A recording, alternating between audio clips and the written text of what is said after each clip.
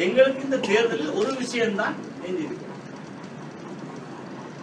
சமூகத்திற்காக பேரம் பேசுகிற ஒரு வாய்ப்பு. என்ற ஒன்று மாத்திரம்தான் இந்த தேர்தலில் நாங்கள் பாதிக்கக்கூடிய ஆயுதம். அதையும் விரயமாக்குற வேலையை தான் வெள்ளும் குதிரையில் அஹ், நாங்கள் பந்தயம் முடிக்க வேண்டும். என்று கதைக்கிற விஷயம். எனவே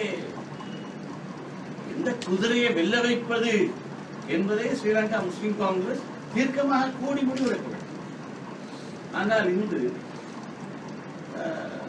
சமூக வலையத்தளங்களிலே இன்று தாராளமாக ஊகங்களும் வேண்டுமென்று திரித்து கூறப்பட்ட கதைகளும் ஏராளமாக உதவுகிறது அதிலே நிறைய பேர் வேண்டுமென்றே ஸ்ரீலங்கா முஸ்லிம் காங்கிரசின் தலைவரை கொஞ்சம் கொச்சைப்படுத்தும். அவரை ஒரு ஏற்கனவே சோரம் போன ஒரு தலைமையாக சித்தரிக்கிறது. என்பதற்கு எழுதி கொடுத்து இணையதளங்கள் பிரசுரிக்கிற செய்திகளாக தான் நிறைய செய்திகளை பார்க்கிறோம். பார்த்துவிட்டு ஒரு புறத்தில் ஒரு புறத்தில் சிரிப்பு மறுபுறத்தில் கொஞ்சம் ஆத்திரம் வந்தாலும் அதை பற்றி நான் பெருசாக அழைக்கப்படுது ஊடகங்களோடு ஆத்திரப்பட்டு எந்த பிரயோஜனமும் கிடையாது. இருந்தாலும் சும்மா இல்லாத பொல்லாத விஷயங்களை எல்லாம் எழுதி கொண்டு வருவாங்க அதையும் நிறைய பேர் ஆளுக்கால் மாறி ஷேர் பண்ணிக்கிறார். என்று நடக்கிற கூத்துக்கு மத்தியில் என்றால் முழு இந்த நாட்டிலே சில விஷயங்கள் நடந்திருக்கு ஜனாதிபதி மஹிந்த ராஜபக்சே பொறுத்த மட்டிலே அவர்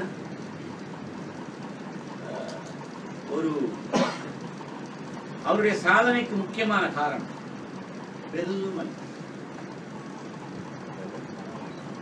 இந்த நாட்டின் ராணுவத்துக்கு இருந்த தோல்வி மனப்பான்மையிலிருந்து ராணுவத்தை விடுவித்த ஒரு அரசியல் தலைமையாக அவருடைய தலைமை இருந்தது என்பதுதான். அவருக்கு இருக்கிற மிகப்பெரிய அந்தஸ்து.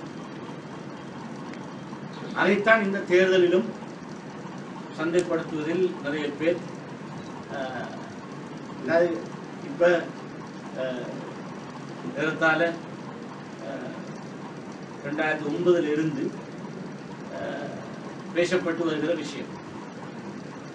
இந்த தேர்தலும் தாராளமாக பேசப்படும். ஆனா இப்ப தோல்வி மனப்பான்மையிலிருந்து போன பதுல்ல தேர்தலோடு ஐக்கிய தேசிய கட்சிக்காரர்கள் விடுபட்டிருக்கிறார்கள் அவர்களுக்கு இருந்த தோல்வி மனப்பான்மை இல்லாமல் போனது என்பது விஷயம்.